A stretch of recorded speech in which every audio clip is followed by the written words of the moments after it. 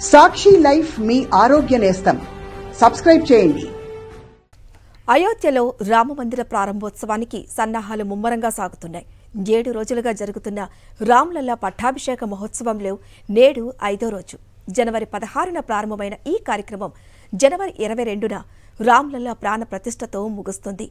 ప్రస్తుతం జరుగుతున్న ప్రాణ ప్రతిష్ట కార్యక్రమాల్లో భాగంగా రాములూరు ఇప్పటికే గర్భగుడిలోనికి చేరుకున్నారు. అయోధ్యలో ఈ రోజు జరగనున్న అనుష్ఠాన కార్యక్రమం ఎంతో ప్రత్యేకత కలిగినది. ఈ రోజు రామాలయంలోని గర్భగుడిని సరియు పవిత్ర జలంతో శుద్ధి చేసి వాస్తు శాంతి అన్నాదివాసం కార్యక్రమాలు నిర్వహించనున్నారు.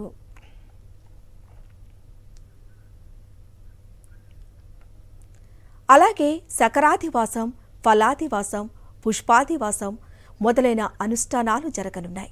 పంచదారలో పండ్లలో పుష్పాలలో బాలరాముని విగ్రహాన్ని కొంతసేపు ఉంచుతారు. ఇక ఆరో రోజు అంటే ఆదివారం రాములల విగ్రహానికి నూట ఇరవై ఐదు కలశాల నీటితో స్నానం చేయించి పవలింపజేస్తారు. ఆ మరుసటి రోజు అంటే జనవరి ఇరవై రెండున శ్రీరాముని ప్రాణప్రతిష్ఠ వేడుక జరగనుంది. ఇక అయోధ్యలోని లతా మంగేష్కర్ చౌక్ దగ్గర మా ప్రతినిధి బిందు ఉన్నారు. మరింత సమాచారం అందిస్తారు. బిందు చెప్పండి అక్కడ భక్తుల సందడి ఏ విధంగా ఉంది? ఏ విధంగా అక్కడికి తరలి వస్తున్నారు? ఎటువంటి సందడి చూడొచ్చు అక్కడ మనం ఇప్పుడు. హరిత మొత్తం ఎలా ఉంది అయోధ్యలో వాతావరణం అనేది? అత్యంత పకడ్బందీగా కనిపిస్తున్న ప్రాంతం. ఇది మొత్తం లతా మంగేష్కర్ చౌక్ అని చెప్పుకోవచ్చు. ఒకవైపు రామ మందిరం లోపలికి గుడి దర్శించుకోవడానికి వచ్చిన వాళ్ళంతా కూడా ఇక్కడే ఉన్నారు. జై శ్రీరామ్ నినాదాలతోటి ఇక్కడ లతా మంగేష్కర్ చౌక్ ఎలా మారుమోగిపోతుందో మీకు నా వెనకాలంతా కూడా సందడి కనిపిస్తుంది. మీకు నా వెనకాల కనిపిస్తున్నది ఉత్తరప్రదేశ్ పోలీసుల మ్యూజిక్ బ్యాండ్ వాళ్ళు. మనం చూస్తుంటాం రిపబ్లిక్ డే అదేవిధంగా స్వాతంత్ర దినోత్సవ వేడుకల్లో ఈ బ్యాండ్ దేశభక్తి గీతాలు ఆలపిస్తూ మనకి కనిపిస్తూ ఉంటుంది. అలాంటి బ్యాండ్ ఇక్కడ రఘుపతి రాఘవ రాజారాం అంటూ కూడా శ్రీరామ సంకీర్తనలను వాయిస్తూ ఇక్కడ వీళ్ళందరిలో కూడా భక్తి భావాన్ని పెంపొందించే ప్రయత్నం చూ- చేస్తున్నారు మనకు కనబడుతున్నాయి. చూస్తున్నాం భక్తులు మొత్తం మన దేశ నలుమూలల నుంచి కూడా పెద్ద ఎత్తున ఇక్కడికి చేరుకుంటున్నారు. అయోధ్యలో ఇరవై రెండో తారీఖున శ్రీరామ విగ్రహ ప్రతిష్టాపన జరగనుంది. ఆ కార్యక్రమంలో పాలు పంచుకోవాలనే ఉద్దేశంతో సాధు పుంగవులతో పాటుగా చాలా మంది భక్తులు అయోధ్యకు చేరుకుంటున్నారు. ఆ భక్తులంతా కూడా ప్రస్తుతం లతా మంగేష్కర్ చౌక్ దగ్గర ఇలా గుమిగుడి మొత్తం ఒక రకమైన సంరంభం ఒక రకమైన ఉత్సవ వాతావరణం కూడా ఇక్కడ మనకి కనిపిస్తుంది నేను కొంతమందిని మాట్లాడించే ప్రయత్నం కూడా చేస్తాను ఎక్కడి నుంచి వచ్చారో అడగబోతున్నాను మాట్లాడదాం ఒకసారి कहाँ से आए हैं आप एमपी एमपी से कैसा है अयोध्या अरे आनंद मंगल हो रहा है ओके मंदिर बन रहा है विग्रह प्राण प्रतिष्ठा हो रहा है हो रहा है हो रहा है ओके कैसा है बढ़िया कहाँ से आनंद का माहौल है हम बस्ती से हैं बस्ती से आनंद है बिल्कुल आनंद श्री राम जी की कृपा है ओके बहुत ही अद्भुत। अद्भुत ओके हाँ मैं जो जो पार्ट देख के आया हूँ हाँ. वो लग रहा है आने वाले भविष्य में कुछ होगा। अभी तो निर्माण दिख रहा है। जो मेन निर्माण है वो एटी परसेंट हो चुका है रोडों का सब तरफ़। ये ये वाला रोड बहुत अच्छा है हनुमान गढ़ी और अलता चौक से वाला। लेकिन जो गाँव गलिया गलिया है जो गलिया वगैरह है उसमें भी पका है। और यहाँ के लोगों की स्वच्छता की आदत नहीं है। हम लोग इंदौर के हैं। मैं लायन धीरेज भारती इंदौर। सो इकड़ता పరిశుభ్రమైన వాతావరణం కనిపిస్తోంది ఇండోర్ నుంచి వచ్చామని చెప్తున్నారు ఆప్ కహా సే హై కహా సే హై ఆప్ अयोध्या हाँ श्री अयोध्या जी से ओके कैसा है अयोध्या बहुत सुंदर बहुत सुंदर है ओके नमस्ते कहा कैसा है अयोध्या कैसा बहुत है बढ़िया राजस्थान जोधपुर से आए हैं हाँ और सेना सारी पीठ पे समत राम भगत खुशी में है चार हमारी पीठें बनी हुई हैं चार तीर्थ बड़े में हैं पांचों अयोध्या तीर्थ बन जाएगा ऐसी आशा करते हैं सब राम भावुक हैं कोई प्रकार के भेदभाव नहीं है ये राम मंत्र में बड़ी ताकत है सबके मन को उजाला कर रहे हैं इतना सालों से राम निवास कर रहा है हर घट में राम बच रहे हैं वो घट कामना कर रहा है जय श्री राम ఓకే సో అది చెప్తున్నారు రామనామం అద్భుతమైనది ఆ రామనామం ఇక్కడ ఆ, ప్రతిధ్వనిస్తోంది అడుగడుగున అనేది ఆ, స్వామి చెప్తున్నారు మనకి సో ఇక్కడ సైన్ బోర్డు కూడా ఒకటి ఏర్పాటు చేశారు. ఒక్కసారి మీకు ఆ సైన్ బోర్డు కూడా నేను చూపిస్తాను హరిత. ఇక్కడ రామ విగ్రహ ప్రతిష్టాపన జరుగుతోంది. మీ ఆలోచనలు ఏంటి? పంచుకోండి అంటూ కూడా ఇక్కడ ఒక సైన్ బోర్డ్ ఏర్పాటు చేశారు. శ్రీరామ్ మందిర్ ప్రాణ ప్రతిష్ట జరుగుతోంది. ఈ అవసరం రోజున మీ అభి- అభిప్రాయాలు పంచుకోండి అని. సో ఈ సైన్ బోర్డ్ దగ్గరికి పెద్ద ఎత్తున యువకులు వస్తున్నారు. ఈ స్లిప్స్ లో వాళ్ళ వాళ్ళ అభిప్రాయాలు రాస్తున్నారు వాళ్ళతో కూడా ఒకసారి మాట్లాడదాం మనం ఒకసారి ఎక్కడి నుంచి మీరు కహాసే ఆప్ अयोध्या से अयोध्या से पहले कैसा था अयोध्या अब कैसा है पहले से बहुत बदलाव आया है और हमें गर्व होता है कि हम अयोध्या वासी हैं कैसा है आप कैसा है कि बहुत अच्छा हो रहा है बहुत डेवलप हो रहा है और फिर ये सब मोदी सरकार की वजह से हो रहा है ఓకే అయోధ్య గతంలో అయోధ్యకి ఇప్పటి అయోధ్యకి అసలు పోలికే లేదు అని చెప్తోంది ఆ అమ్మాయి. అమ్మాయి అయోధ్యలోనే ఉంటున్నానని చెప్తోంది. కేవలం మోదీ ప్రభుత్వం వల్ల మాత్రమే ఈ అభివృద్ధి అయింది అని కూడా తన అభిప్రాయం. సో ఇది మాత్రమే కాదు మనం ఎక్కడ చూసినా కూడా ఈ హోర్డింగ్లు కనబడుతున్నాయి. డబుల్ ఇంజిన్ సర్కార్ వచ్చింది ముప్పై ఒక్క వేల కోట్ల రూపాయలు అయోధ్యలో ఖర్చు పెట్టామంటూ కేంద్ర ప్రభుత్వం ఏవైతే పథకాలు ప్రవేశపెట్టిందో ఆ పథకాలన్నింటినీ కూడా ప్రతిబింబిస్తూ పెద్ద ఎత్తున హోర్డింగ్స్ ఇవన్నీ కూడా ఇక్కడ ఏర్పాటు చేశారు హరిత. చూస్తున్నాం ఈ బ్యాండ్ ఉదయం నుంచి కూడా ఇదే విధంగా శ్రీరామ సంకీర్తనలు ఆలపించడం దేశ నలుమూలల నుంచి వచ్చిన భక్తులతోటి ఈ లతా మంగేష్కర్ చౌక్ మొత్తం కూడా నిండిపోయింది. ఇది రాంపద్ మార్గంగా ప్రధానంగా చెప్తారు. ఇక్కడ నుంచి రాంపద్ నుంచి డైరెక్ట్గా ఇక్కడ సరయూ నదికి వెళ్ళే మార్గం ఇదంతా కూడా. అటు తెలుగు రాష్ట్రాల నుంచి కూడా పెద్ద ఎత్తున భక్తులు ఇక్కడికి చేరుకుంటూ ఉన్నారు. శ్రీరామ నామంతో ఇక్కడ మొత్తం కూడా మార్మోగిపోతున్న పరిస్థితి యూపీ పోలీసులు ఎక్కడికక్కడ పెద్ద ఎత్తున బందోబస్తు కూడా ఏర్పాటు చేశారు ఏ- कहाँ से हैं आप मैं भिलवाड़ा राजस्थान राजस्थान से ये इस दिन में आए थे आप अयोध्या कैसा लग रहा है बहुत अच्छा लग रहा है बहुत अच्छा बहुत अच्छा है वेरी गुड दर्शन हो गए पहले भगवान आए थे आप नहीं पहले भी आया था पर अभी बहुत चेंज लग रहा है मोदी जी ने बहुत अच्छे काम किया है और योगी जी ने और सब ने मिल करके बहुत अच्छा సో ఇక్కడ లోకల్గా చెప్పే వాళ్ళు అంతా కూడా ఒకటే చెప్తారు. అదేంటంటే ఇదంతా ఒక అడవిలాగా ఉండే ప్రాంతం ఇదంతా కూడా. ఆ ప్రాంతాన్ని అంతటిని తీసుకుని మొత్తం అభివృద్ధి చేసి ఈ రోడ్లు వీటితో పాటుగా ఇక్కడ లతా మంగేష్కర్ చౌక్ అదేవిధంగా ఘాట్లు వీటన్నిటిని కూడా పూర్తిగా రీవ్యాంప్ చేశారు. మొత్తం కూడా రోడ్ల దగ్గర నుంచి అంతా చదును చేసి కూడా అభివృద్ధి పనులన్నీ కూడా చేపట్టారు. అది కనబడుతోంది అనేది ప్రధానంగా అయోధ్య వాసులు చెప్తున్నారు. అది మాత్రమే కాదు కొంతమంది ఇక్కడ వాళ్ళ ఇళ్ళు ఇలాంటివన్నీ కోల్పోయిన వాళ్ళకు కూడా సరైన పరిహారం ఇచ్చారు అనేది కూడా మనకి ప్రధానంగా వినబడుతోంది హరిత. సో ఓవరాల్గా అయోధ్య మొత్తం కూడా రామనామ జపంతో మారుమోగిపోతోంది అని చెప్పుకోవచ్చు. ఒకవైపు అధికార యంత్రాంగం పోలీస్ సిబ్బంది దేశ నలుమూలల నుంచి వచ్చిన భక్తులు వీళ్ళంతటితోటి కూడా అయోధ్య నిండిపోయింది. Over to you Haritha. Thank you Bindu right ఇక అయోధ్యలో మా ప్రతినిధి వెంకటేష్ కూడా అక్కడే ఉన్నారు. మరింత సమాచారం అడిగే ప్రయత్నం చేద్దాం. వెంకటేష్ చెప్పండి. మరి అయోధ్యలో భక్తులు జై శ్రీరామ్ నినాదాలతో మారుమోగిపోతుంది. మీరున్న ప్లేస్లో ఎటువంటి సందడి ఉంది అక్కడ? అయోధ్యలోని ధర్మ పత్తులో ప్రస్తుతం నేనున్నాను. ఈ ధర్మ పత్తులో సూర్య వంశానికి సంబంధించినటువంటి రాముడు కాబట్టి సూర్య వంశానికి గుర్తుగా సూర్యుడి గుర్తులతో స్తంభాలు ఏర్పాటు చేశారు. వీటిని సూర్య స్తంభంగా పిలుస్తారు. సో ఈ మొత్తం రహదారికి ధర్మపత్ అని నామకరణం చేశారు.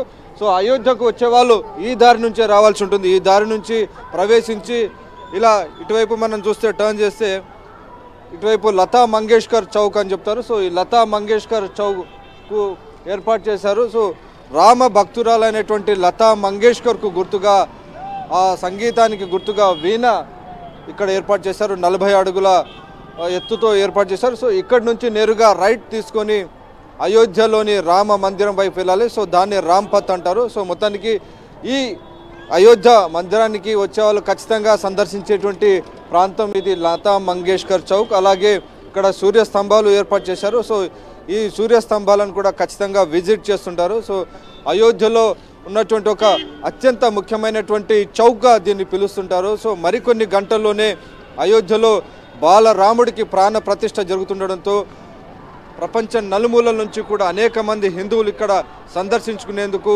తహతహలాడుతున్నారు. అనేక మంది ఇక్కడికి వచ్చేటువంటి ప్రయత్నం చేస్తున్నారు. సో దాంతో అయోధ్య పురవీధులన్నీ కూడా భక్తులతో నిండిపోయి కోలాహలంగా ఉన్నాయి. సందడి వాతావరణం ఉంది. ఒక ఇంట్లో పెళ్ళి జరిగితే ఎంతటి సందడి ఉంటుందో అదే తరహాలో అయోధ్య వీధులన్నీ కూడా పురవీధులన్నీ కూడా సంతోషం సంబరాలతో నిండిపోయినటువంటి సందర్భం మనకు కనబడుతుంది. సో మొత్తానికి మనతో పాటు డిప్యూటీ ఇన్స్పెక్టర్ రాజ్ కుమార్ ఉన్న రాజ్ కుమార్ సో ఇక్కడ లతా మంగేష్కర్ చౌక్ అలాగే సూర్యస్తంభానికి సంబంధించి చాలా విశిష్టమైనటువంటి ప్రాముఖ్యత ఉంది. సో వచ్చినటువంటి భక్తులందరూ కూడా ఇక్కడ సందర్శించుకున్నటువంటి పరిస్థితి ఉంది. సో ఏం చెప్తారు దీనిపైన? సో ఖచ్చితంగా మీరు మీరన్నట్టుగా లతా మంగేష్కర్కి సంబంధించినటువంటి ఒక అట్రిబ్యూట్ ఇస్తూ అంటే ఆమె పాడినటువంటి పాటలకు సంబంధించి కానీ ఆమె చేసినటువంటి అంటే రాముడికి సంబంధించి ఆమె భక్తి పారవశ్యంతో చేసినటువంటి పాటలకు సంబంధించి ఒక అట్రిబ్యూట్ అంటే ఒక గుర్తింపుగా చేస్తూ ఇక్కడ లతా మంగేష్కర్కి సంబంధించి ఒక చౌక్ని ఏర్పాటు చేయడం జరిగింది. రైట్ మీరన్నట్టుగా దాదాపుగా నలభై అడుగుల ఎత్తులో ఉన్నటువంటి ఒక వీణని ఇక్కడ ఆ, ప్రతిష్ఠించడం జరిగింది. సో ఇది చాలా అద్భుతంగా ఉంది. అయోధ్యలో రెండు ముఖ్య ఘట్టాలుగా చెప్పుకోవచ్చు. ఒకటి లతా మంగేష్కర్కు సంబంధించినటువంటి ఈ వీణకు సంబంధించినటువంటి ఒకటి చెప్పుకోవచ్చు. ఇంకొకటి ఇది చూస్తే నిజంగా రాముడు సూర్యవంశానికి చెందినట్టుగా చెప్తారు కాబట్టి. సో సూర్యవంశానికి చెందిన సంబంధించినటువంటి ఇది ఒక ప్రత్యేకంగా ఏర్పాటు చేసినటువంటి స్తంభాలు ఆల్మోస్ట్ ఇటుపది అటుపది చొప్పున స్తంభాలు ఏర్పాటు చేయడం జరిగింది. ఇవన్నీ కూడా చాలా చాలా గొప్పగా చెప్పుకోవచ్చు. ఈవినింగ్ పూట చూస్తే ఇక్కడ ఈ ప్రాంతం అంతా కూడా కన్నుల పండుగ ఉంటుందని చెప్పకుండా చెప్పచ్చు. వెంకటేష్ మనం అంటే రెండు రోజుల నుంచి చూస్తున్నాం. ఇక్కడ సిచ్యువేషన్ ఎట్లా ఉంది? మొత్తం అంతా అయోధ్య అంతా కూడా ఎట్లా అనిపిస్తుంది? మనం ప్రత్యేకంగా ఒక బ్యాన్ ఏర్పాటు చేశారు. ఇక్కడికి వచ్చేటువంటి వాటిని. అవన్నీ మనం కెమెరామెన్ ముత్యం చూపించేటువంటి ప్రయత్నం చేశాడు. సో కంప్లీట్గా ఒక బ్యాండ్ ఏర్పాటు చేశారు బ్యాక్గ్రౌండ్లో చూడొచ్చు. ఆ బ్యాండ్ అంతా కూడా ఉదయం నుంచి సాయంత్రం దాకా సో వాయిస్తూ అక్కడ ఉన్నటువంటి ఇక్కడ ఉన్నటువంటి వచ్చేటువంటి భక్తులందరికీ కూడా ఒక మంత్రముగ్ధులు చేసేటువంటి కార్యక్రమాన్ని ఏర్పాటు చేశారని చెప్పొచ్చు కదా వెంకటేష్? ఖచ్చితంగా రామ మందిరాన్ని దర్శించుకునేందుకు వచ్చినటువంటి వారందరూ కూడా ఈ ధర్మపత్ నుంచే ఆ రామ మందిరానికి ప్రవేశించాల్సి ఉంటుంది. కాబట్టి ఇక్కడ రామ భక్తురాలైనటువంటి లతా మంగేష్కర్ ఆమె అత్యంత ప్రసిద్ధిగాంచినటువంటి గాన కోకిల రామ భక్తితో ఆమె అనేక పాటలు రాశారు. పాటలు సంగీతాన్ని అందించారు. సో ఆ నేపథ్యంలోనే ఆమెకు గుర్తుగా ఏర్పాటు చేసినటువంటి లతా మంగేష్కర్ చౌక్ ఇదంతా కూడా సంగీతంతో రాముడి సంగీతంతో రాముడి భక్తి పాటలతో పరవశించిపోతుంది ప్రాంతం. మీరు చూడొచ్చు నా వెనకాల అక్కడ ఉన్నటువంటి బ్యాండ్ ఇప్పటికే ఏర్పాటు చేశారు. అక్కడ కంటిన్యూస్గా సంగీతాన్ని అక్కడ వినిపిస్తున్నటువంటి ప్రత్యక్షంగా సంగీతాన్ని వినిపించేటువంటి ప్రయత్నం చేస్తున్నారు. సో మొత్తానికి అయోధ్య పురవీధులన్నీ కూడా ఆధ్యాత్మిక శోభతో పరిడవిల్లుతున్నటువంటి సందర్భం మనం చూస్తుంది. ఇక్కడ ఎలాంటి అవాంఛనీయ ఘటనలు జరగకుండా ఉండేందుకు కూడా నా వెనుక కనబడుతుంది. ర్యాపిడ్ యాక్షన్ ఫోర్స్ సంబంధించినటువంటి వారందరూ కూడా సిద్ధంగా ఉన్నారు. ఎటువంటి సమస్యలు తలెత్తినా కానీ వారి నిఘా వర్గాలు పసిగట్టేందుకు వారు వజ్ర వెహికల్స్ అన్నిటిని కూడా ఏర్పాటు చేశారు. సో పోలీసులు అందరూ కూడా చాలా కట్టుదిట్టమైనటువంటి బందోబస్తులు ఏర్పాటు చేశారు.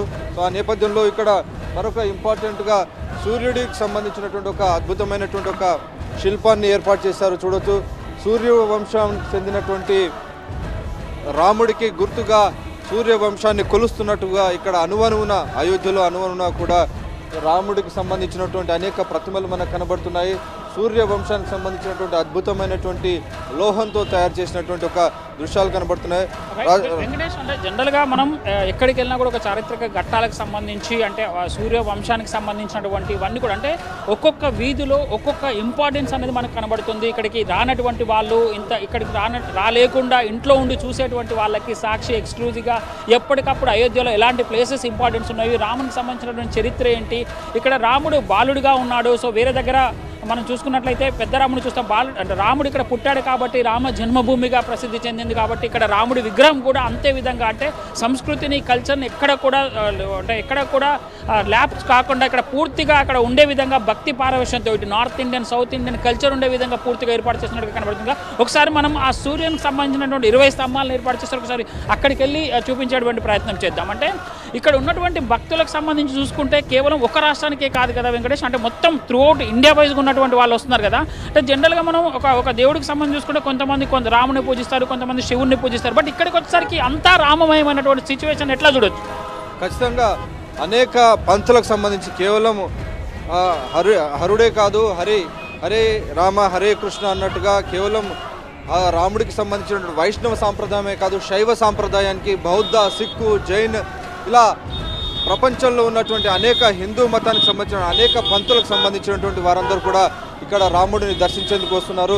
ఇక్కడికి వచ్చేటువంటి వారంతా కూడా మనం చూస్తే ఇటువైపు ఇటు నాకు రైట్ సైడ్లో నుంచి కనుక వెళ్తే నేరుగా రాంపత్ నుంచి అయోధ్యకు దారితీస్తుంది కానీ లెఫ్ట్ సైడ్ కనుక వెళ్తే ఇక్కడ సరయు నదికి దారితీసేటువంటి ఒక వే ఉంది. సో ఇక్కడికి వచ్చేటువంటి భక్తులు సందర్శించాల్సినటువంటి అత్యంత ముఖ్యమైనటువంటి జంక్షన్గా దీన్ని చెప్తుంటారు. సో ఇక్కడ ఉన్నటువంటి సరయు నదిలో భక్తులందరూ కూడా పుణ్య స్నానాలు ఆచరించిన తర్వాత నేరుగా బాలరాముడిని దర్శించేందుకు వెళ్ళేటువంటి ఒక సాంప్రదాయం ఉంది. సో అత్యుత్తమైనటువంటి ఒక సంబంధించి అంటే రాముడికి సంబంధించి సరియు నదిలో కనుక స్నానం చేస్తే మనం గంగా గోదావరి నుంచి ఎట్లయితే స్నానం చేస్తే పునీతులు అవుతారో ఎన్నో జన్మల నుంచి ఉన్నటువంటి పాపాలు పోతాయో లేకుంటే పెద్దవాళ్ళు ఎవరైనా చనిపోయిన వాళ్ళు ఉంటే అట్లాంటి వాళ్ళకి సంబంధించి కూడా మనము ఒక్కొక్కటి అంటే ఒక్కొక్క ఘాటుకి సంబంధించి ఒక ఇంపార్టెన్స్ ఉంటుంది. సరియు నది కూడా ఇంచుమించు అలాగే ఉంటుంది. రాముడు వెళ్ళినటువంటి రాజ్యము రాముడు జన్మించినటువంటి రాజ్యం కాబట్టి రాముడు పుట్టినటువంటి ప్రాంతం కాబట్టి అంతే రీతిలో పుణ్యం వస్తుంది అని చెప్పడానికి ఇంత చలిలో అంటే మైనస్ అంటే almost